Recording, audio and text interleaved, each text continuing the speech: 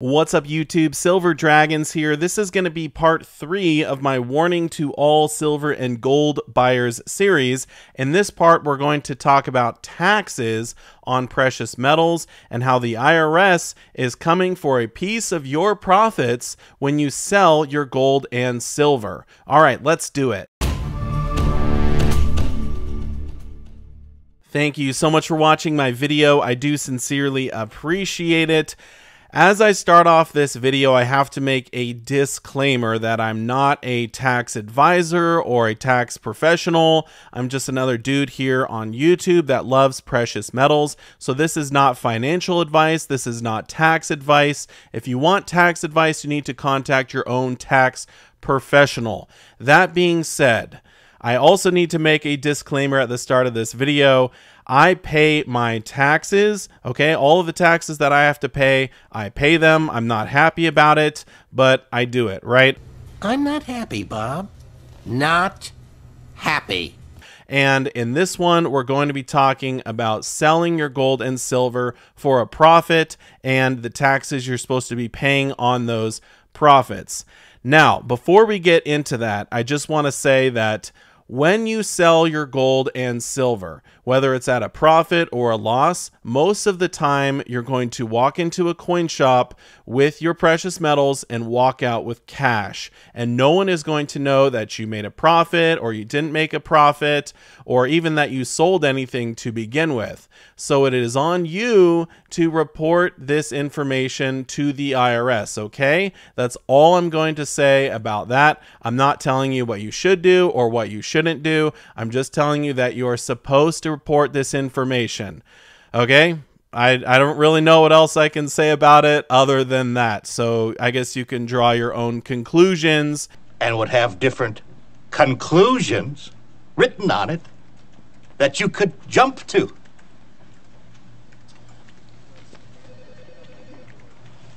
That is the worst idea I've ever heard in my life, Tom.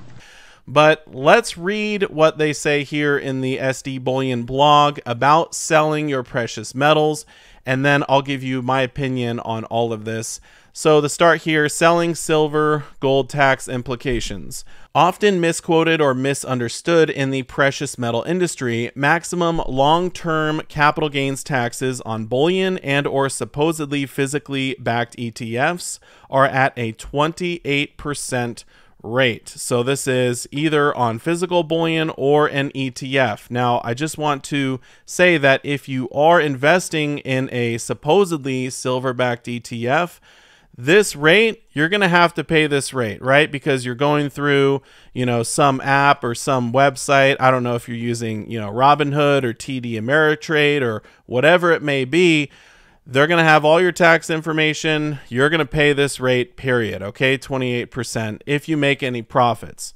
All right, let's move on. But the specific tax rate at which you would get taxed on profitable bullion sales will depend on your particular tax bracket as well as other factors involved. Okay, how to sell gold without paying taxes. So this would be gold or silver, and there's really only one way to do it um, I guess, above board legally. Get ready for SD Bullion's Monster Box sweepstakes that includes 500 Silver Eagles. You could be the next lucky recipient of a phone call like this.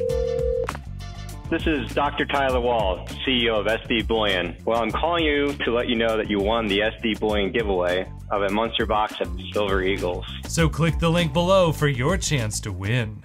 Uh, other than front loading your tax payments to begin a bullion investment by using a Roth IRA, current rules are if you sell your bullion at fiat currency prices higher than your fiat currency cost basis, then the IRS is going to demand a portion of those fiat currency capital gains in the form of capital gains taxes. So, of course, this is only on your profits.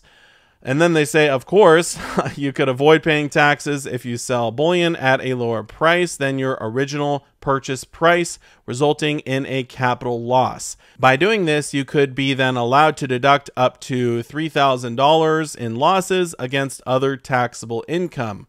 So, yeah, I mean, I guess if you lose money on your precious metals, then theoretically you could claim these losses. So, you could use this to your advantage, but you are telling the IRS, hey, I'm involved in precious metals and things like that. So, use that information uh, however you like.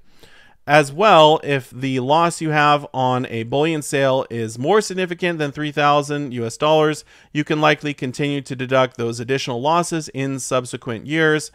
Um, okay, so yeah, maybe if you lose, you know, 10 grand, then for a few years you can count the losses.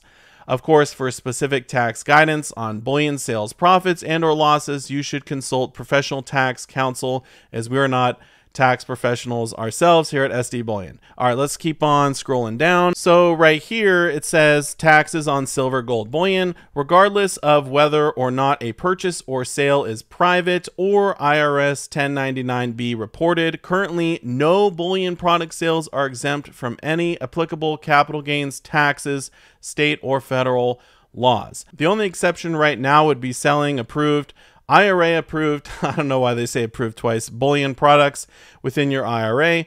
For that, other rules will apply and vary depending on if your bullion IRA is a Roth or traditional, etc.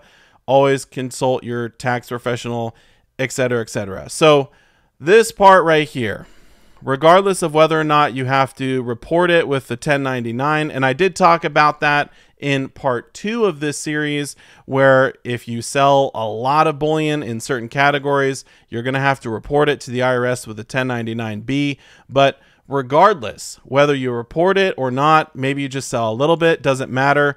Currently, no bullion product sales are exempt from any applicable capital gains taxes.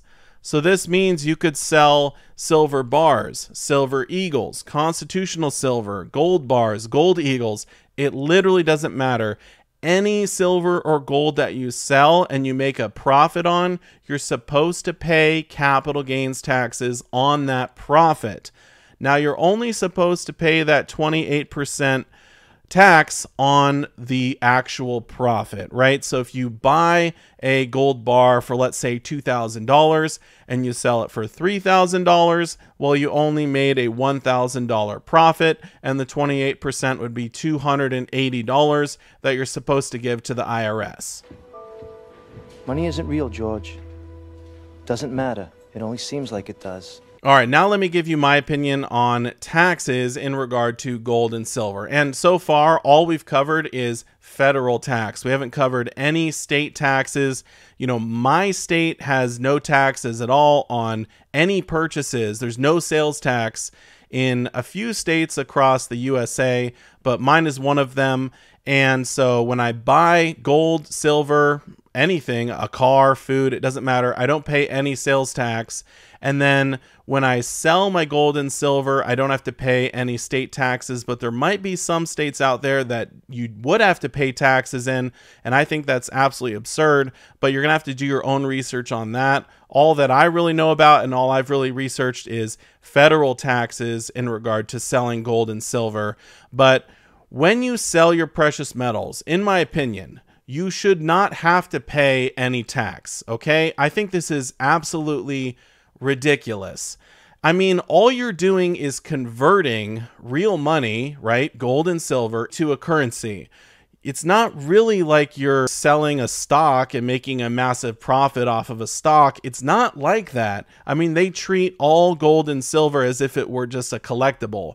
They don't really see, you know, bullion as being bullion. So it, it's weird too because they make their own bullion, right? They make gold eagles, they make silver eagles, and they're like, yeah, go ahead and buy them. But hey, if you make any profits, you're going to have to pay taxes on them. It's just money. It's made up. Pieces of paper with pictures on it so we don't have to kill each other just to get something to eat. So I think it's absolutely ridiculous. I don't think you should have to pay any taxes on your gold and silver sales. But currently, that is the law, and I'm just putting information out there. I'm not giving you advice. I'm not telling you you should do one thing or not do one thing. I'm just telling you this is the way that it is. So I am curious what your thoughts are on taxes in regard to precious metals. If you have any comments, put them down below in the comments section. If you want to watch my other two videos that I made in this series on mandatory IRS reporting, feel free to check those out. I'll put links down below in the description. I want to say a massive thank you so much for watching, and I will see you all in my next one. Silver Dragons out.